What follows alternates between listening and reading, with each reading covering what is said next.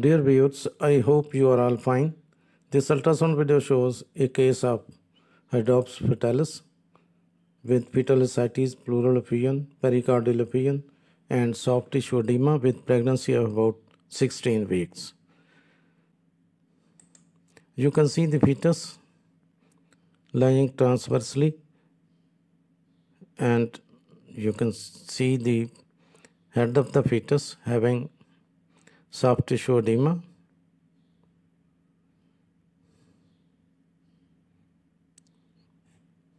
This is the soft tissue edema. Hydrops fetalis is a condition in the fetus characterized by accumulation of fluid or edema in at least two fetal compartments.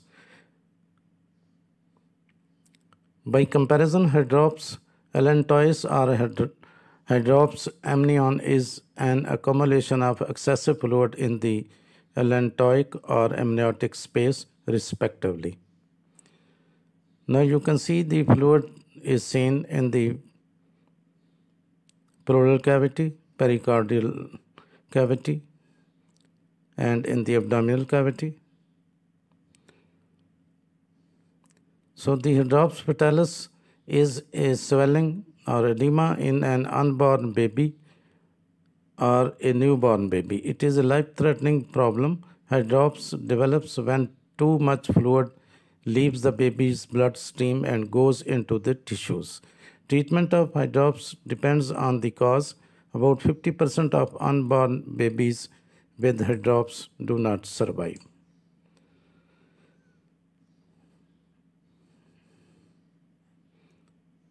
Now you can see this is the fluid in the pleural cavity, pleural effusion.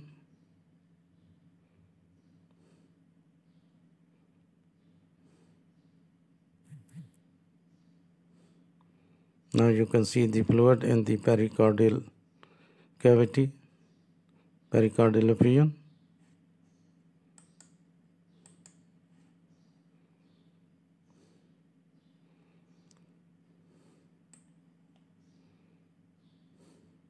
Hydrops due to chromosomal abnormalities is usually detected during early pregnancy, whereas cardiac causes are detected in the second or third trimester. Hence, a detailed prenatal workup should be done in suspected cases.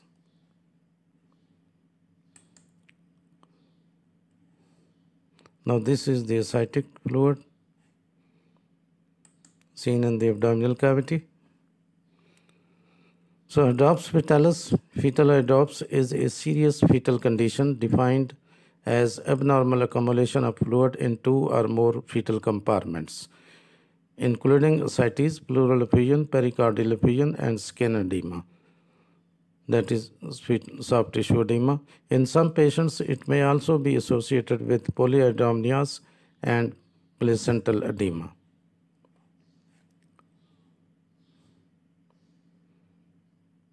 So this is again the fetal soft tissue edema.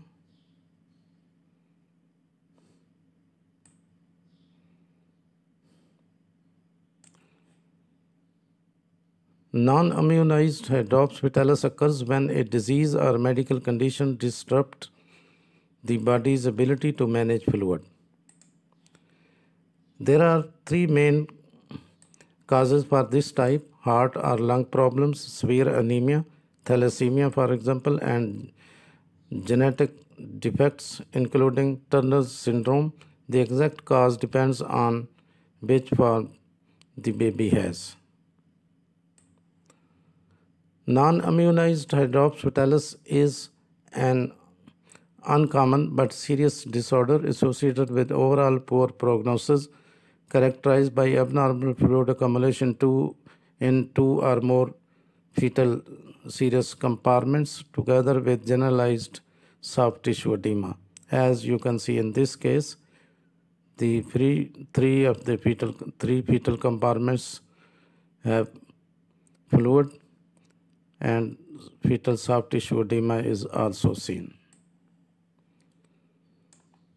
Hydrops usually rapidly becomes fatal for the baby if left untreated. An infant or fetus with hydrops is severely compromised. The earlier in the pregnancy the diagnosis is made, the, the worse is the prognosis. Some babies with hydrops may even die before they are born.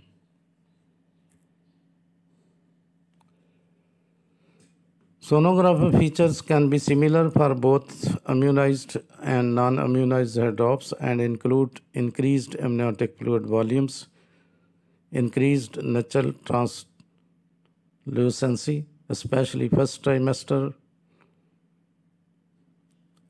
larger placental size, placentalomegaly, increased placental thickness, that is placental edema. stress related changes in the pregnant woman's heart rate and blood pressure along with chronic anxiety can affect the heart rate of her developing fetus as a new study concludes usually the earliest baby can survive is about 22 weeks gestation the age of viability is 24 weeks at 22 weeks, there is 0 to 10% chance of survival. At 24 weeks, the survival rate is 40 to 70%.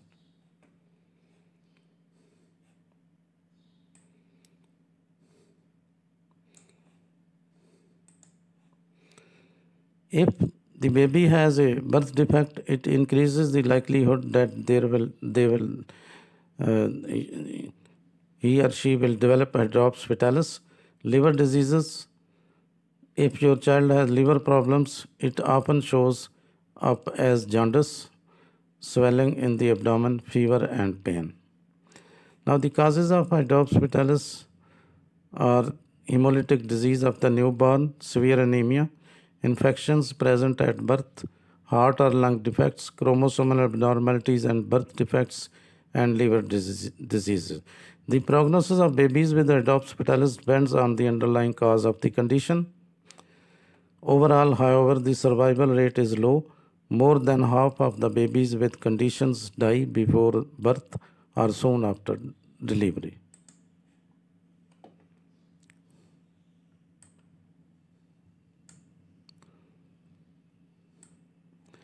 Hydrops can occur if the developing baby's organs cannot overcome anemia the heart starts to fail, large amount of fluid build up in the baby's tissue or organs starts. This type of hydrops is not common today because Rh negative women are generally treated with Rh immunoglobulin to prevent this problem. In conclusion, even a rare case of fetal ascites can be managed successfully. Fetal ascites is commonly considered as a part of precursor of fetal hydrops which has various etiologies.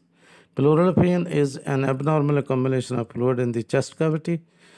As the fluid increases, it can limit the development of lungs and compromises the heart's function. Causes of pleural effusion may include chromosomal abnormalities, heart conditions, lung problems or abnormal lymph drainage. You can find some important information in the description of this video. Thanks for watching. Please subscribe my channel. If you do like this video, please click the like button. Thanks.